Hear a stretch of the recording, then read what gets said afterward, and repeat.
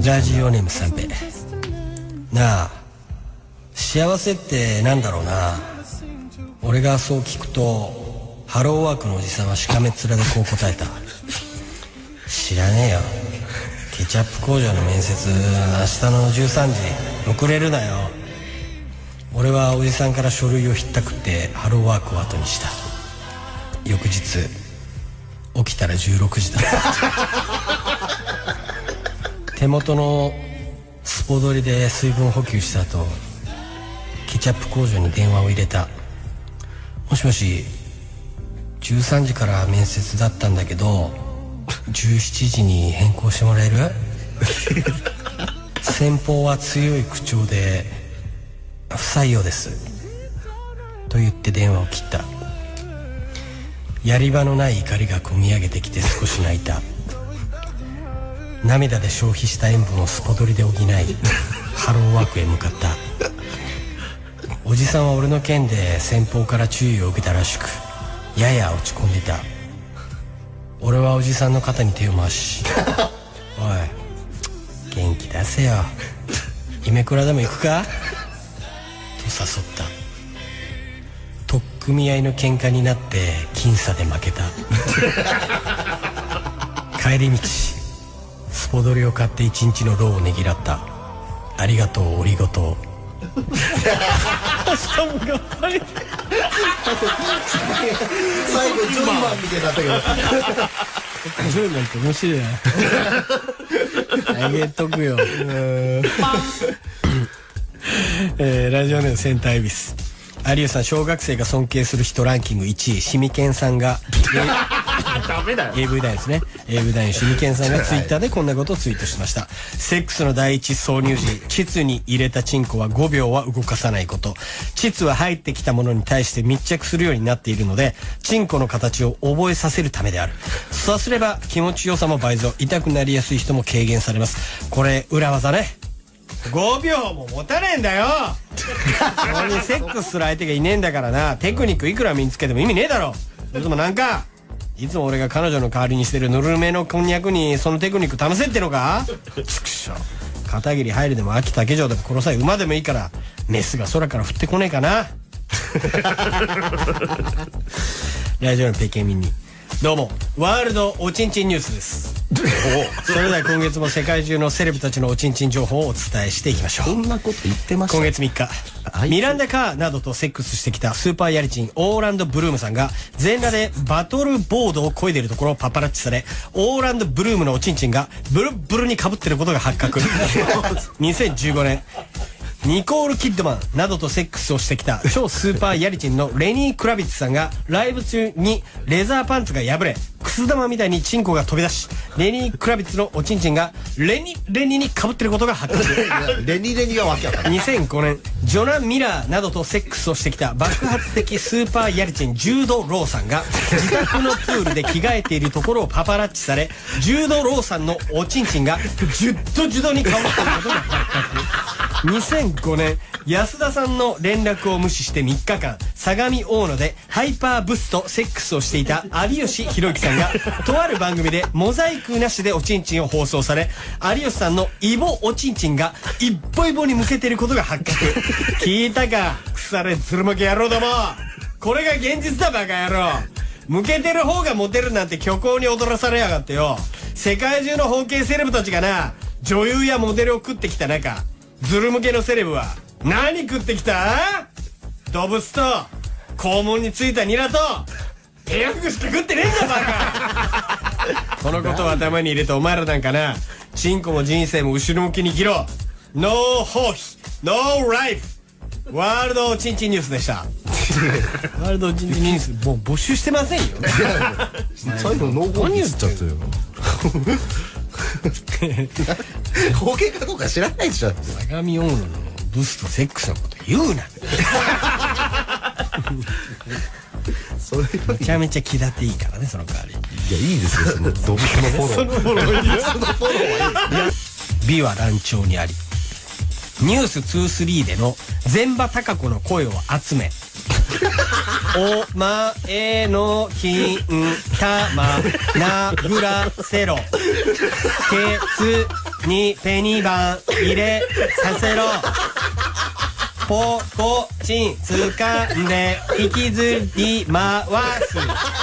なるほど自分のされたい願望通りに編集加工し上げ上げのリズムトラックに乗せ EDM にし大音量で流しながらベランダでお布団叩き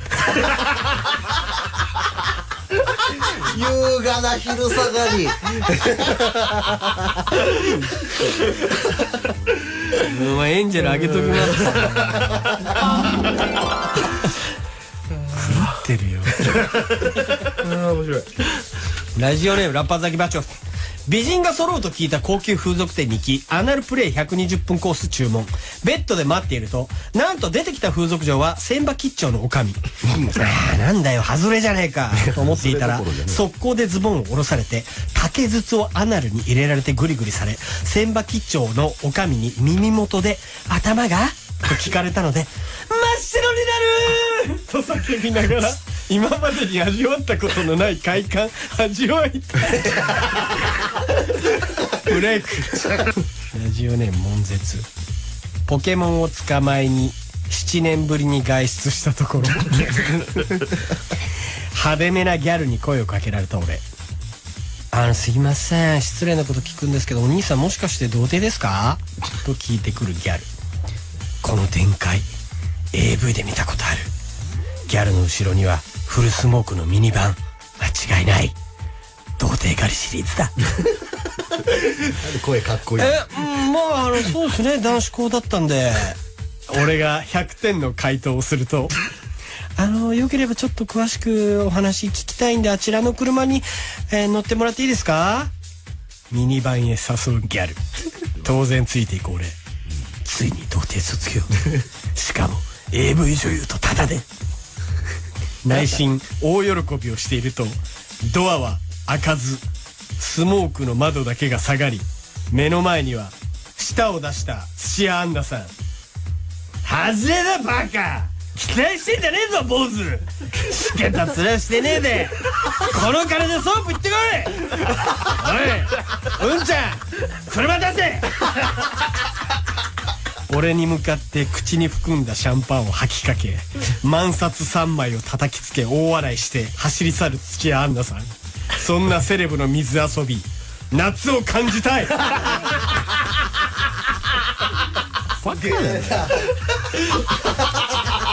どんな遊びしてんの土屋アンナ。それで初めて7年ぶりに家出れるんだな。あげときますけどねわかりません。あげときます。分かっておくれなラジオネームバントでホームラン。広瀬すずちゃんと同じ高校に通い始めた俺は掃除の時間にすずちゃんの机を運ぶことに成功する。俺はこっそりとズボンからチンコを取り出しすずちゃんの机の引き出しに突っ込む。そしてすずちゃんの手垢のついた数学の教科書の間にチンコを挟んでスリスリしているところをクラスメートの橋本環奈ちゃんに見つかり怒った環奈ちゃんにほうきでお尻叩かれたい。そんなもんで済むわけねえだろ。警察100人だよお前。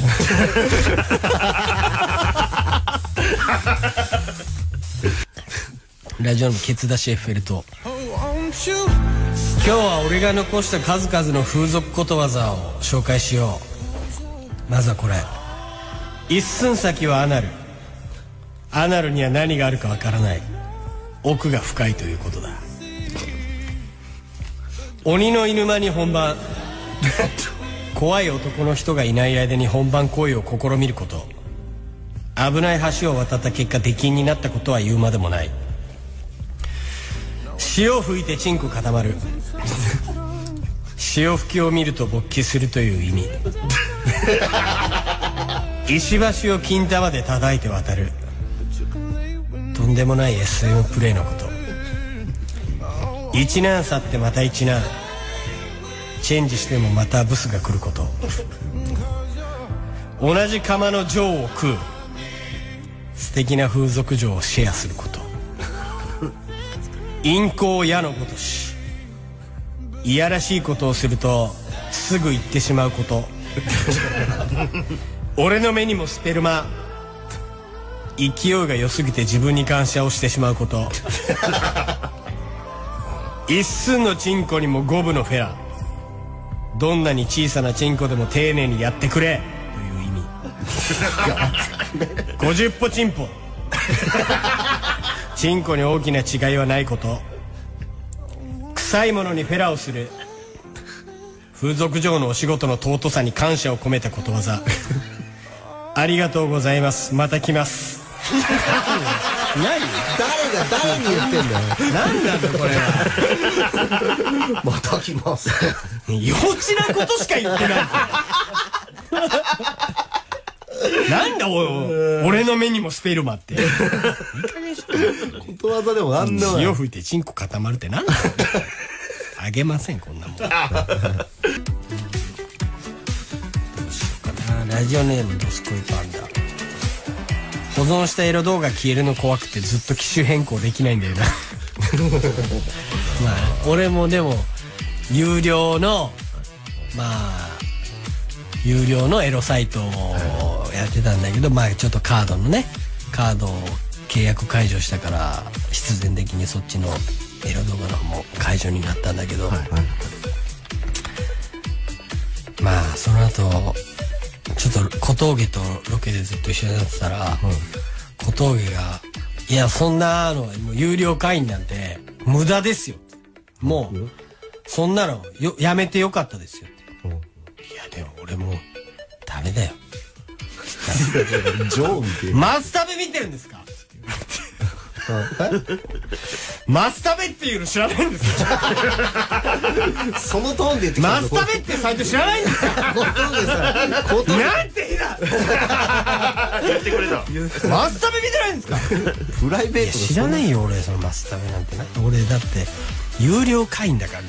いや有料会員も何もないですよ。マスタベがあればいいんですよ。それ何なんですか？なんかそういう動画の集まるサイトがあるんですそれ見ろって言われて今それで我慢してる。よ 我慢ではある。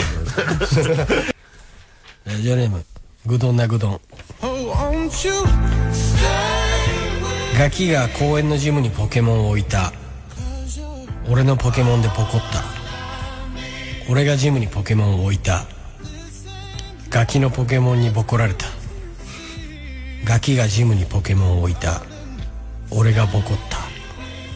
俺がポケモンを置いた。ガキにボコられた。ガキが置いたボコった。置いたボコられた。置いたボコった。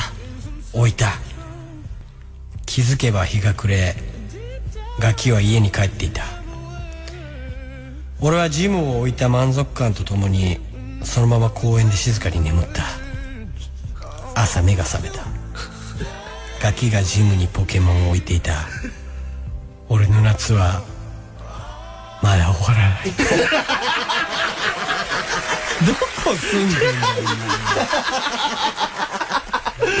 んの長いぞ夏は充電どうしてんのすぐ減りますからねあれラジオネームケツダシエッフェルトここ5年ほぼ週4で通っている行きつけの定食屋で思い切って「あいつもの!」と注文してみたら「あすいませんお客さん常連さんですか?」と言われた。俺は慌てて「酢の物いつものじゃなくて酢の物って言ったんですよ」とごまかす。店主に「ここ来るの初めて?」うち酢の物をやってないんですよ。と否定されいつものとんかつ定食を注文し食す。店を出て行き店を出て行きつけの風俗へ直行いつもの黒ギャルを指名しめちゃくちゃに攻め倒した黒ギャルは白目を向き声は枯れ果てた暴れて腹が減った俺は再びあの定食屋へまた「いつもの!」と注文してみると店主は「あいよ!」と言って厨房に消えたしばらくすると頼んだこともないアジフライ定食が来た。懐かしい味。父ちゃんやっと俺のこと思い出してくれたんだね。20年前女を作り母を泣かせ家族を捨てて出て行った父が唯一作ってくれた懐かしい味。天使いやクソ親父。あんたの大事な娘は風俗で働いてるぞ。あの黒ギャル。この俺がめちゃめちゃにしてやった。これは俺が今年見た中で一番ハッとした AV の設定だ。あんたが考えたんじゃねえのかちょっと好きだったのになただただ見た AV のレビューを。先週録音だったもん今年あげとこうじゃあ今度サービスだぞくだらない全国のお兄ちゃん。こんばんは。み靴下持ってきたよ。おにお兄ちゃんの言う言言った通り靴下持ってきたよ。これは妹キャラですね。妹キャラだけど。やばくね？えかこれお兄ちゃんが靴下持って。おに全国のお兄ちゃん。こんばんは。こんばんは。こんばんは。ひ二人に言われた通り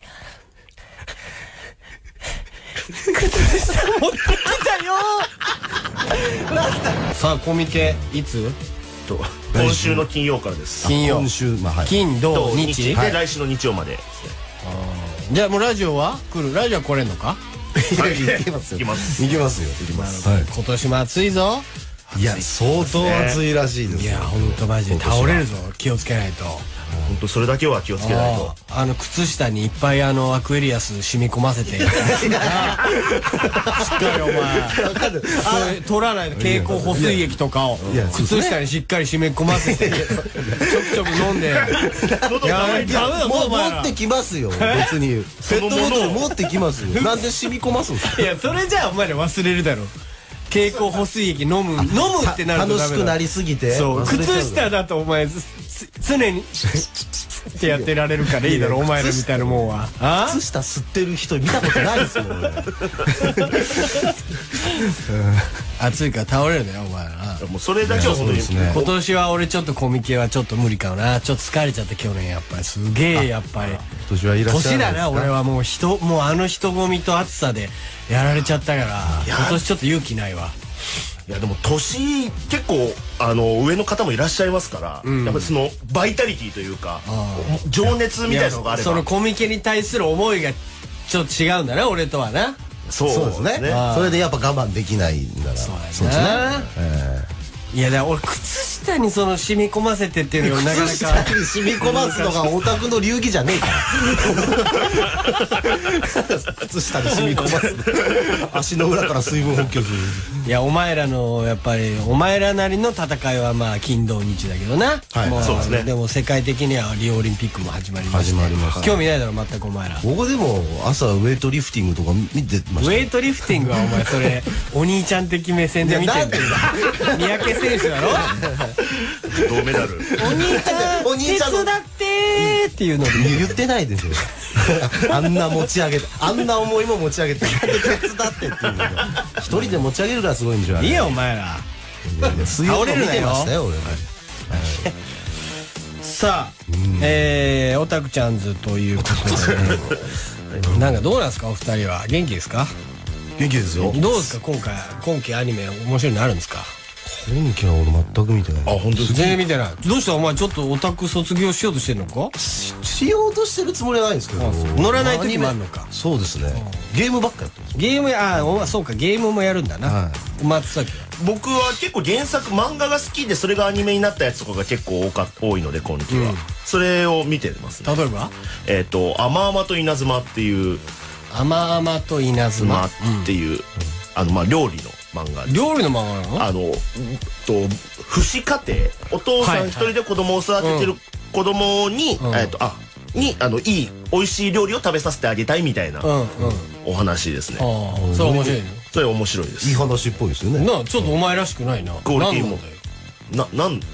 な、なん、お前なんかもっとあれだろなんかあのー、スクール水着が小さいよとかいう漫画ばっかり見てんじゃないの？そうだろお前。あでも安心してそういうのもあります。見てますよ。そういうのも見てんの、はいあのマスオ学園ハイブリッドハートっていう。